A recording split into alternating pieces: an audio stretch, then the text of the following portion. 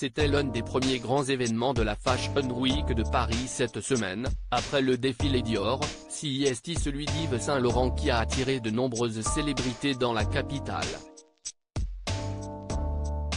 Et si les habitués des fronts hauts comme Virginie Efira, Catherine Deneuve ou Charlotte Gainsbourg ont marqué les esprits, si est-il la jeunesse qui a véritablement attiré tous les regards, plusieurs fils et filles de étaient en effet sur le tapis rouge. Et parmi eux, un duo de sœurs absolument splendide, Mathilde et Valentina Pinault avaient sorti le grand jeu. À 21 et 15 ans, les deux filles de l'homme d'affaires François-Henri Pinault faisaient leur première sortie toutes les deux et avaient choisi des looks accordés. Toutes les deux étaient en effet vêtues de robes claires, grises pour l'aînée et dorées pour la cadette. Celle-ci a particulièrement marqué, avec ses longs cheveux blonds et son maquillage très appuyé. L'aînée, quant à elle, s'est amusée à poser avec sa belle-mère, l'actrice américaine Salma Hayek.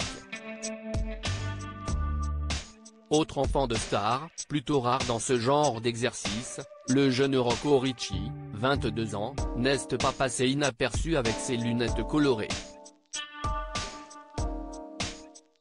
Fils de la star légendaire Madonna et du réalisateur Guy Ritchie, celui-ci vivait là l'une de ses premières apparitions sur tapis rouge, lui qui a longtemps été très protégé par ses parents comme ses quatre sœurs, Lourdes, 26 ans, Mercy, 17 ans, et Esther et Stella, 9 ans, et son frère David, 17 ans. Lila Grace Moss sosie de sa maman deux autres jeunes femmes, bien plus habituées à ce genre d'exercice, avaient également fait le déplacement dans la capitale, Zoé Kravitz, 34 à secondes, actrice depuis de nombreuses années, a fait sensation avec son pantalon en cuir.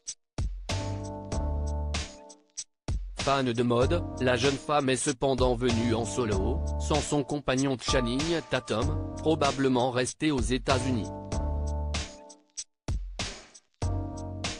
Absolument superbe, Lila Grace Mossack a également fait une apparition remarquée.